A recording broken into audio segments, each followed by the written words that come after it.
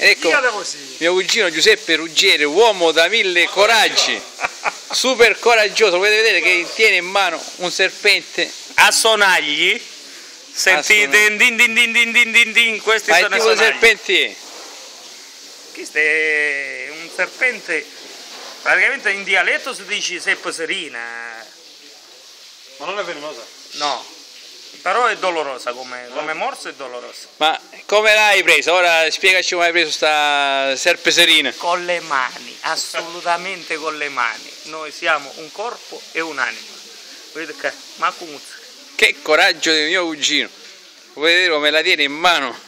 Però è abbastanza pericoloso, ci, ci si deve guardare da questo. Quindi lo sconsigli di fare ai A persone tutti, pratiche. Sì, sì, assolutamente. Bisogna avere una certa dimestichezza con gli animali, con i serpenti. serpentini neri che abbiamo qui in zona vanno bene. Questi sono più camuti va, dico. Però come la stai tenendo tu, la- il serpente non muore. È tenerlo Vediamo con se il collo possiamo fermo. inquadrare, guardate che è troppo vicino. Mordi. Non è addestrato bene ancora. Però come la stai tenendo non si fa male e No, non no, c'è il pericolo che No, morda. No, no, no, assolutamente, non c'è pericolo che morda, non si fa male. Ora sarà di nuovo liberata. Casci poi un cuppito di scupa.